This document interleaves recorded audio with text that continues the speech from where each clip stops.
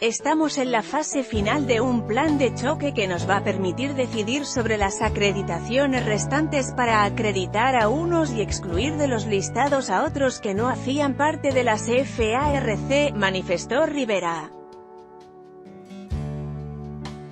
Lea además, se espera acuerdo de «cese el fuego» entre el gobierno y el ELN de acuerdo al alto comisionado. Hasta el momento se han podido acreditar 13.003 exmiembros de las FARC, con el apoyo de las diferentes agencias del Estado, de los 14.178 que la exguerrilla presentó en sus listas.